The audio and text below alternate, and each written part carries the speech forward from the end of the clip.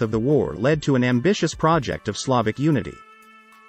The establishment of the Kingdom of Serbs, Croats, and Slovenes in 1918, later renamed Yugoslavia, was seen as a beacon of hope for a unified South Slavic identity.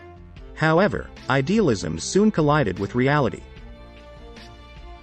The amalgamation of diverse cultures and historical rivalries, especially between dominant groups like the Serbs and Croats, led to internal strife. King Alexander I, in a bid to mitigate these nationalistic tensions, centralized power in the late 1920s. This strategy, rather than stabilizing the nation, intensified political divisions, culminating in his assassination in 1934. This event further underscored the fragility of Yugoslav unity.